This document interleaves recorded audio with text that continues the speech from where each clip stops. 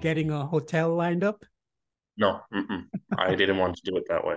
Oh, okay. I so my travel philosophy hmm or expatriate philosophy or whichever um, is that I'm trying to live as a local, not as a foreigner, not as a tourist, I should say, as because I'm always going to be a foreigner, but as a tourist.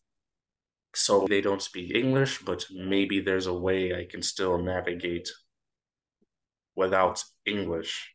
I wanted the experience of getting lost as if I was kidnapped and thrown somewhere and I'm trying to find my way. That's the experience I was looking for. That is So I wanted to try to do this myself. There was no English at all. No one spoke English, no one, nothing. And that was uh, very difficult in the very beginning. It was, it, it felt kind of like depressing because technically I was illiterate. Mm, Uh, I didn't know how to interact with people because I don't know how to be polite, how to, what's not to be rude. mm, I didn't know anything.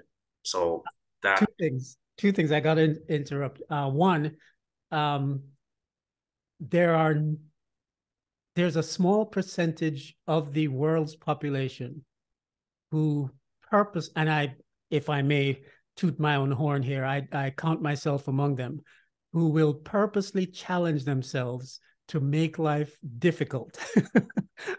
and I totally get that. I understand that. It's sort of the same thing that, that I do.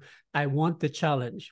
I want to to have a, a puzzle to figure out. I want to have um, a, a code to crack. I want to be I'm, I don't just want to um, float in on easy mode. I want to set the level higher so that I can, whether it's prove something to myself or just have some fun or test my abilities, test my wits, whatever. But it's not everyone in the population that thinks like that. In fact, a lot of people actually want to bring every single comfort of home with them when they Mhm. travel and actually basically just experience you know uh, their regular life just in a in a different in a different country. But that's that's really cool.